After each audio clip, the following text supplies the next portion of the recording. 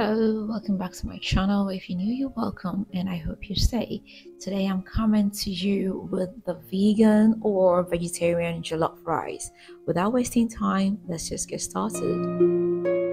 To start, I'm going to need these ingredients. I've got some onions, I've got some fennel, I've got some garlic, some carrots, and some sweet pepper. So what I'll do is I'll put everything in a blender and blend it up.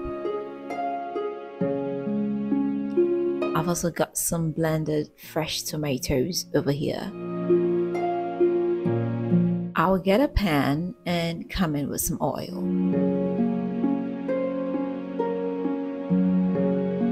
Next, I'll come in with the blended ingredients.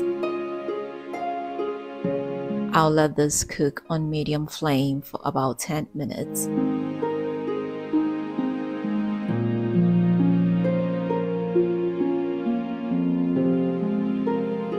After 10 minutes, I'll pour in the blended fresh tomatoes.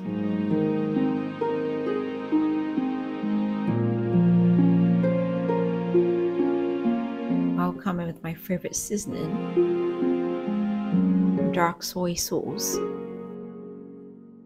white pepper, curry, powdered ginger, some chili pepper, and finally salt. I'll give this a mix and let this cook on medium flame for about 20 minutes. So it's been after about 20 minutes and as you can see the stew has thickened. Now I'll come in with my basmati rice. It's been washed. I'll go ahead and give it a quick stir.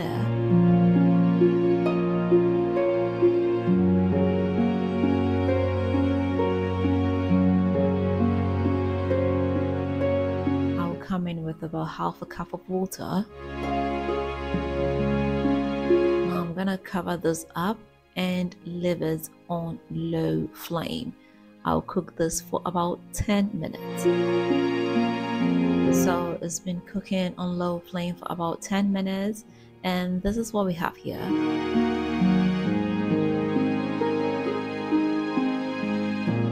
I'll come in with a little bit more of water like this is about another half a cup of water you have to be careful with water with jollof rice because you might end up using too much so I'll cover it up again and let this cook on low flame this time for about five minutes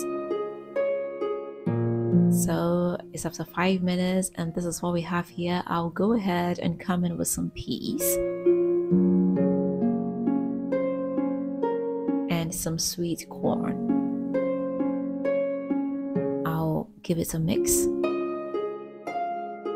This time I'll cover it up with an aluminium foil to help trap in the moisture and cover it up with the lid. Then let this cook on very low flame for about 10 minutes.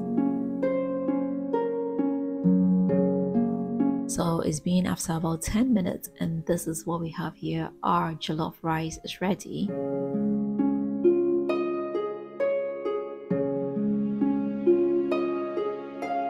I must tell you, even though this doesn't have any meat or fish, it tastes delicious. You definitely need to give this a try, especially if you're vegan or vegetarian.